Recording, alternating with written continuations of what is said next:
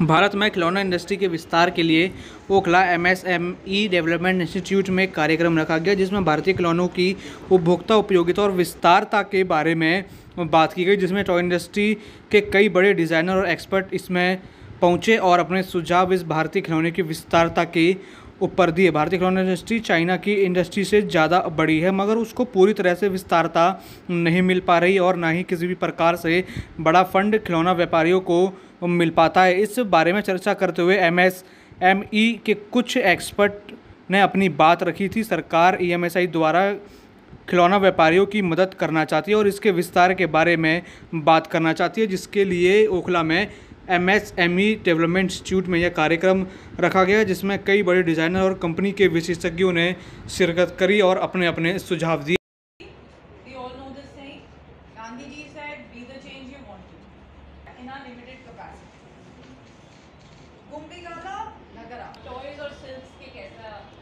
हो? तो मैं यश जी को बताना चाहूँगी। मैं ब्यूरो ऑफ़ इंडियन स्टैंडर्ड की टेक्सटाइल डायरेक्टर हूँ। I am the only private दूसरा जो आपने बाल के लिए कहा था उसके लिए मैं थोड़ा सा बताना चाहूँगी कि क्या क्या हम लोग बनाते हैं और क्या चीज़ मैं उनके साथ करती हूँ।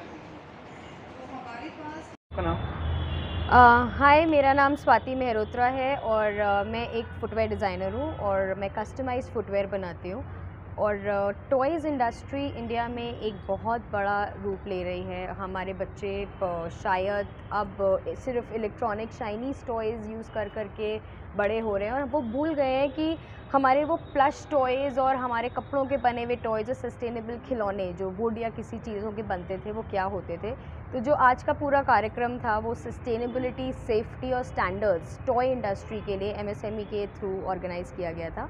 जिसमें आ, मेरे थ्रू ये बताया गया कि हम लेदर को भी किस तरीके से टॉयज़ में यूज़ कर सकते हैं।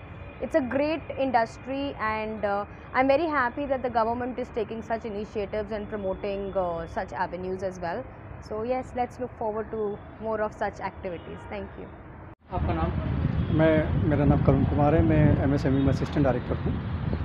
आज जो प्रोग्राम आयोजित हुआ है awareness program of safety and standard of and M S M policies जैसा कि आप जानते हैं कि दुनिया में खेलों की एक बहुत बड़ी मार्केट है। पूरी दुनिया में लगभग सात लाख करोड़ की खेलों की मार्केट है। और हमारे देश में भी लगभग 2000 करोड़ की टॉय इंडस्ट्री और गेम्स की मार्केट है। लेकिन बड़ी इतफाक़ की बात है, दुर्भाग्य की बात है कि हमारा जो एक्सपोर्ट की मार्केट में जो शेयर है वो 0.5 परसेंट है। लगभग 1.5 बिलियन डॉलर्स। साढ़े दस ग्यारह हज़ार के करीब। का तो जिसमें- आज यहाँ पर चर्चा हुई उसके ऊपर कितना इसमें मुनाफा होगा या फिर किस तरीके से देखते हैं? देखिए टॉय जो है हर घर की ज़रूरत है।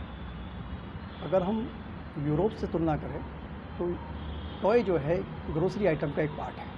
लेकिन हमारे देश में ऐसा नहीं है कि हमारे लिए टॉय ग्रोसरी आइटम का पार्ट न होने के साथ साथ हमारे देश में टॉय लग्जरी आइटम माना जाता है। हम बच्चों के लिए टॉय पे ध्यान नहीं देते हैं उसके, उसकी जो प्राथमिकता नहीं देते हैं उसके लिए। ये अगर इस सोच को हम लेके करें तो इसमें टॉय में काफ़ी बड़ा स्कोप है। माननीय प्रधानमंत्री जी इस बात के ऊपर बहुत ज़ोर से कह रहे हैं। एक पिछले दिनों एक वर्चुअल एग्जीबिशन हुई है, जिसमें लगभग ग्यारह सौ टॉय इंडस्ट्री और स्पोर्ट्स इंडस्ट्री से लोग जो है, बहुत बड़ा कार्यक्रम किया और माननीय प्रधानमंत्री जी ने इसको उद्घाटन कर, किया। तो टॉय में संभावना है। सरकार टॉय इंडस्ट्री के साथ खड़ी है एम के साथ खड़ी है। और सरकार चाहती है कि इम्पोर्ट जो हो रहा है इम्पोर्ट कम हो और जो हमारा लोकल आइटम है उसको बढ़ावा दिया जाए। तो अभी देखते हैं कि टॉय इंडस्ट्री का अभी विस्तार होगा लोकल फॉर वोकल की तरफ़ बढ़ेगा। हाँ लोकल लोकल फॉर वोकल बढ़ेगा विस्तार होने की असीम संभावना है। बहुत इंडस्ट्री हम कर रहे हैं वर्षों से कर रहे हैं। ऐसा नहीं है कि हम नए हैं। कुछ कमियाँ हो सकती हैं।